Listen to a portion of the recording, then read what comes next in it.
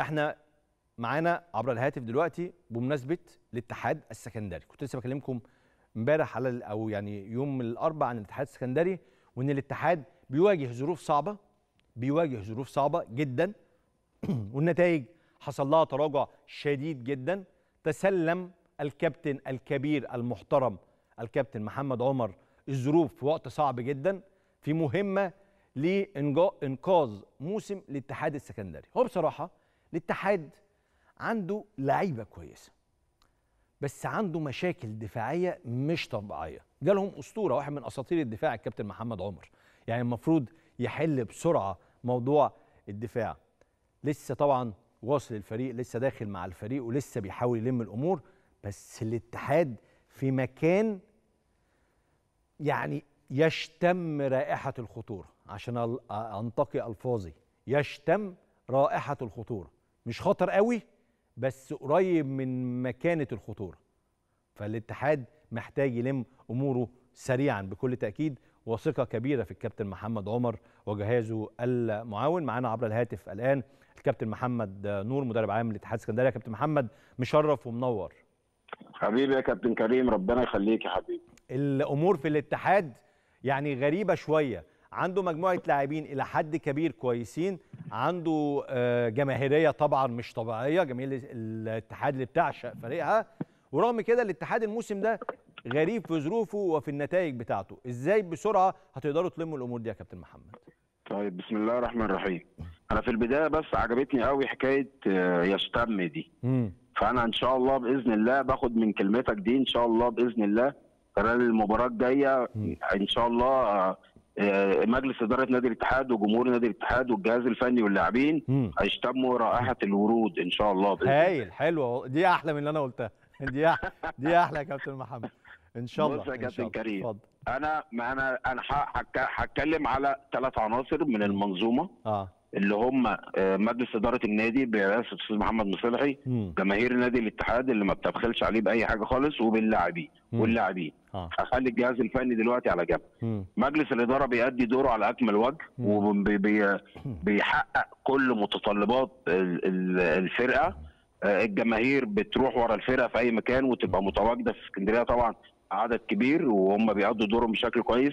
اللاعبين يمكن حضرتك شفت في مباراة الإسماعيلي أو مش هقول تطور بشكل كبير جدا لأن إحنا اشتغلنا بالظبط يوم واحد أعتقد إن كان في بعض التغير في الأداء بالنسبة لا. للفرقة لا كان في تغير واضح يا كابتن محمد في النواحي الدفاعية تحديدا يعني الفرقة كانت ماسكة ما- نفسها الله ينور الفرقة كانت ماسكة. نفسها شوية دفاعيا آه صحيح أنت محتاج لسه شوية تطور هجومي بس على الأقل الدفاع الاتحاد بيعاني منه هذا الموسم بشكل كبير جدا فالفرقة كانت ماسكة نفسها في الدفاع وده كان واضح ما هو بص يا كابتن كريم مم. أنت عشان تدخل تمسك فرقة مش هقول لك في وسط الموسم انت ماسك فرقة في نهاية الموسم صح مش في وسط الموسم هي صح. كل المو- الموضوع خمس مباريات صح. فلو انت ما كنتش ملم بمشاكل والسلبيات الموجودة جوه الفرقة وفي نفس الوقت عندك الحلول بتاعتها.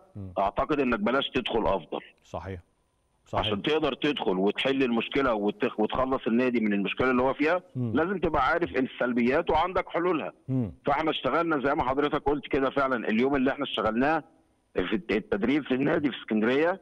اشتغلنا بشكل كبير جدا على التمركز على الرقابة على التغطية على سرعة الارتداد على المساندة الدفاعية. وأعتقد إن ده يمكن آه، ظهر بشكل كويس في مباراة الإسماعيلي. إحنا يمكن من فترة طويلة إحنا آه خسرنا لكن الهدف اللي دخل فينا من كرة ثابتة كل الكور المتحركة سواء الطوليه أو العرضية المدافعين اتعاملوا معاها بشكل كويس جدا. صحيح. طيب. وطبعا إحنا كمان راح مننا أكتر من فرصة الكرة بتاعت عادل ميسي اللي جت في القايم كرة. بواتنج اللي, اللي راح بانفراد ويمكن إحنا بالمناسبة بواتنج إن إحنا ما عندناش غير مهاجم واحد اللي هو مابولولو اللي هو كان خلال الفترة اللي فاتت مصاب. وده المهاجم الوحيد اللي بيقدر يتعامل بشكل جيد آه، أمام المرمى أو داخل المنطقة يعني. بصراحه ده واحد من أحسن اللاعبين الأجانب اللي في الدوري المصري ولو كان موجود مع الاتحاد الفترة اللي فاتت دي كان ممكن أمور. تختلف يعني. وإن شاء الله إحنا نتمنى إن هو خلال اليومين اللي جايين يكون خلص علاجه. والإشعة تطلع سليمة بإذن الله إن شاء الله لأن هو دلوقتي بيشتغل مع الجهاز الطبي مم. مع الدكتور عمرو والدكتور محمد عبد الفتاح فأعتقد إن شاء الله إن ممكن خلال يومين آه، الدنيا تستتب ويقدر يدخل معانا التدريبات الجماعيه للفرقة. وأعتقد إحنا عندنا وقت كويس يقدر يسمح إن هو يقدر يدخل آه، مع الفرقة ويوصل لمستوى جيد قبل مباراة البنك الأهلي إن شاء الله. طيب كابتن محمد أنتوا كجهاز فني أكيد ليكم دور كبير جدا إنه تنهوا الموسم بشكل جيد مع الاتحاد. بس أكيد برضو ليكم دور في اختيار اللاعبين الجدد للاتحاد الموسم اللي جاي ورحيل بعض اللاعبين. بدأتوا تشتغلوا على هذه الأمور؟ والله بص إحنا مأجلين الموضوع ده بس لغاية ما نستقر نستقر على وضع الفرقة إن شاء الله. مم. يعني الموضوع ممكن ياخد له ماتش مثلا كمان ولا حاجة. إن شاء الله عندنا أمل كبير جدا إن إحنا الموضوع ده ينتهي خلال المباراة اللي جاية بإذن الله لما يكون إحنا عندنا بين مباراة الإسماعيلي وبين مباراة البنك الأهلي حوالي تسعة أيام ما نقدر نستثمرهم بشكل كويس عشان نقدر نظبط الشكل والأسلوب اللي إحنا حابين إن إحنا نلعب بيه في الشق الدفاعي وفي الشق الهجومي وأتمنى الولاد إن هم يستوعبوا هم يمكن من تدريب واحد آه، خلال قبل مباراة الإسماعيلي آه، ابتدوا يستوعبوا بشكل كويس. وقدروا ينفذوا ده بشكل عملي جوه الملعب. مم. أتمنى خلال الأسبوع ده كمان إن إحنا نقدر نشتغل بشكل كويس ونوصل لمباراة البنك الأهلي لنتيجه إيجابية مم. تبعدنا خالص عن المشاكل اللي موجودة وبعدها بقى نبدأ نفكر في اللي بعد كده إن شاء الله. عظيم. كل التوفيق يا كابتن محمد بالتوفيق لنادي الاتحاد السكندري وعجبني الجملة اللي حضرتك قلتها الفريق المباراة القادمة هيشتم رائحة الورود. والجماهير هتشتم رائحة الورود جماهير الاتحاد السكندري العظيم. أنا بشكرك. شكرا جزيلا على هذه المداخلة. نحب الاتحاد ونحب الإسماعيلي ونحب المصري ونحب المحلة ونحب برضو انبي وبيراميدز وفيوتشر ونحب الأندية اللي بتخلي الدوري شكله حلو. كل الأندية كل الأندية. نحترم الأندية اللي ليها تاريخ بطبيعة الحال. كلنا بنحب التاريخ كلنا. بس في كل الأحوال أنت وشطارتك.